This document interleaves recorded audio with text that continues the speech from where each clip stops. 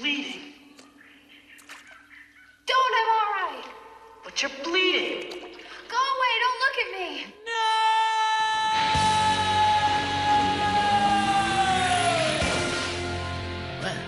Ah!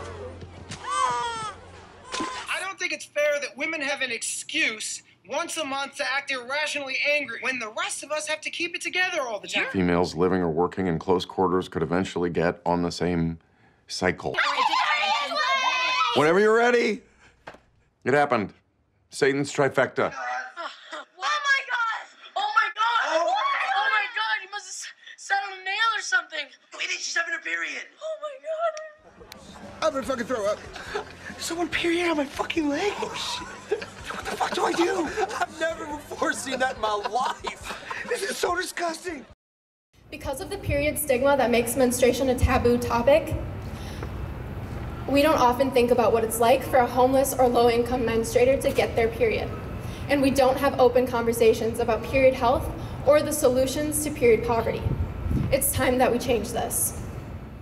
More than four in five students, that's 84%, in the US have either missed class time or know someone who's missed class time because they did not have access to period products. 64% of teens who menstruate believe society teaches people to be ashamed of their periods.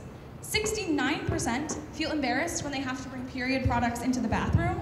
And 76% think we are taught more about the biology of frogs than the biology of the human female body. I'm done with that. I'm a lot more candid now. I have dropped the TMI acronym from my vocabulary, and I encourage all of you to do the same thing.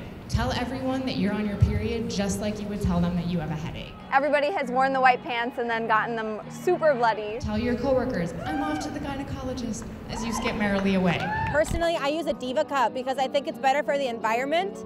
And don't be scared. You just get a little more comfortable with yourself. Be that angel that carries tampons around despite not being someone who uses them. Half the world struggles with these same issues, but we don't talk about it at all, especially males.